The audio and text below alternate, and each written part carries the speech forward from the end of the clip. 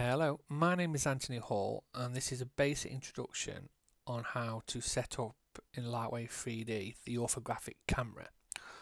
So the orthographic camera, sometimes it's called orthogonal camera, uh, it basically means that you, you're going to render out a, a 3D object but in two dimensions.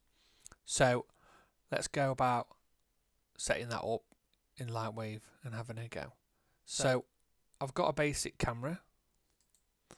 It's just a perspective camera, 720p, bit of render setting set up, uh, ready to do the render. So if I switch to my camera view, noticing that I've actually put it for the render exactly on the side of the ship because I want a side profile and then obviously I can want a top profile and maybe a front and a back so if I'm doing a design sheet I can put the sides and the front of the profile, but more of a 2D flat render than a 3D.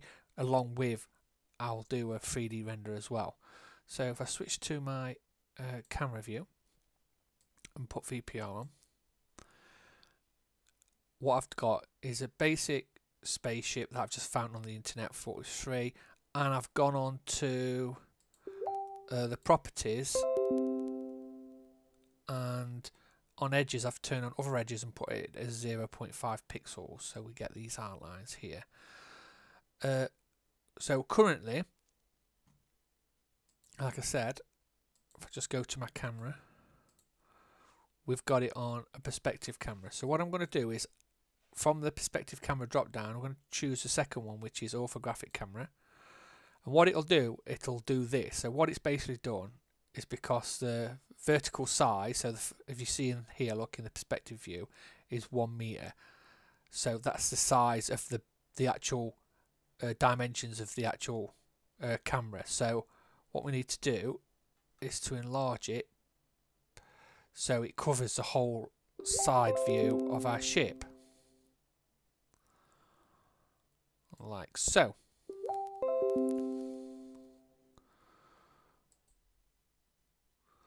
So I've got my orthographic camera set up. So what I'll do is I'll just switch uh, my display options to double vertical, like so. Do another camera view. I'll clone the camera, so uh, Control C on keyboard. Switch the second camera back to perspective.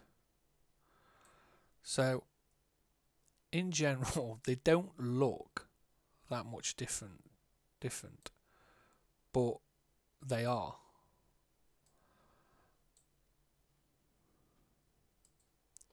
Okay, so I've got camera one set up as my orthographic camera and camera two as my perspective camera.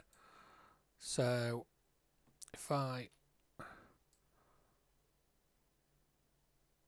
rotate. The shot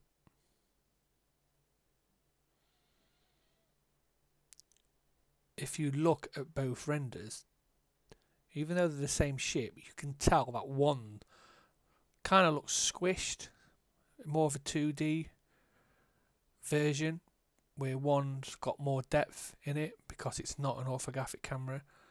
So where the second one it's not so flat. And if you look at the size of certain stuff like in this area here compared to this area it's been kind of squished to give you the profile. I mean I've used it on uh, for pieces of architecture. It's really good for products to getting products profiles if you want front back and sides and stuff. Uh, but my suggestion is to uh, play about with it. I've got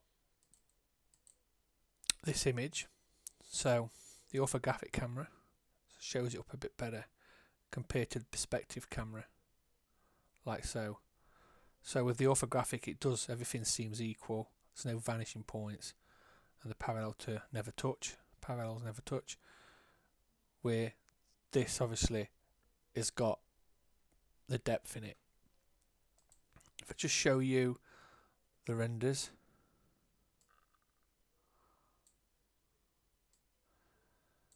And this is two different cameras in the same position. One's orthographic one's perspective.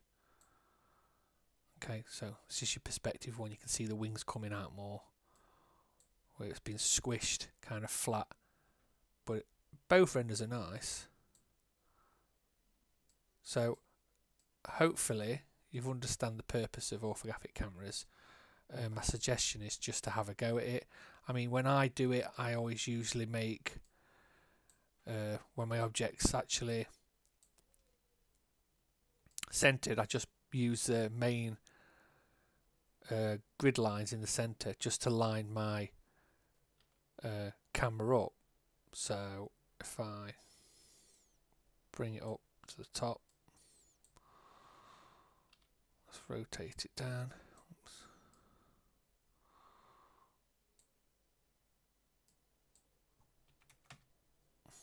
So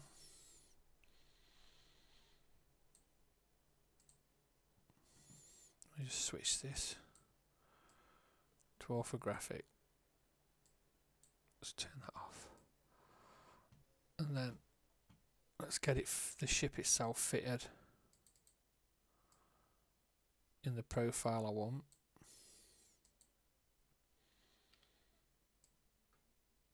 Like so. Turn the VPR on. And again, there's another nice profile shot of the orthographic camera. So, thanks for listening. I'll see you next time.